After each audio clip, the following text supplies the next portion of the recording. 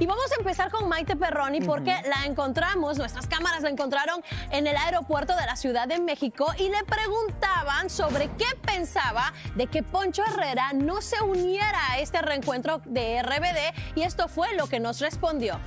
Nos llevan a distintos lugares, ¿no? Pero Pues sí se la- ¿Será que para este año? Gracias, Maite.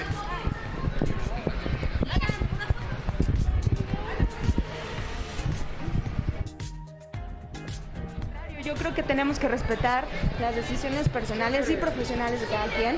Y eso nada tiene que ver con el cariño y el amor que hay entre nosotros. Son decisiones que nos llevan a distintos lugares, ¿no? Pero sí se la- ¿Será que para este año? Gracias, Maite.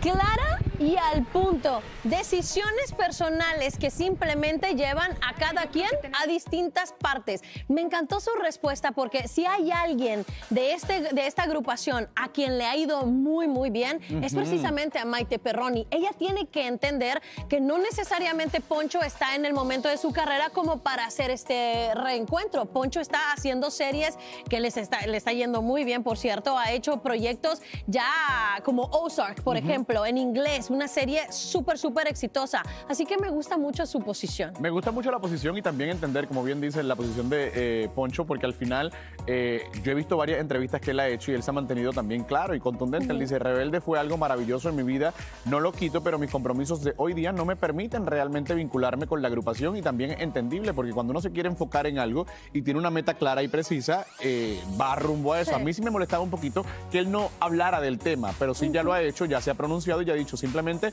estoy en otra etapa profesional. Qué bueno que Anaí, Dulce María, Cristian y todo el resto eh, de la agrupación sí lo van a hacer porque la verdad que yo estoy muy emocionado Sí. por ese A reencuentro. mí también, y me hubiera encantado que estuvieran todos juntos, pero son distintas etapas, ya ves como las Spice Girls. A lo mejor ¿Cuánto aparecen uno que y de repente no había una? Ay, pero ¿y por qué?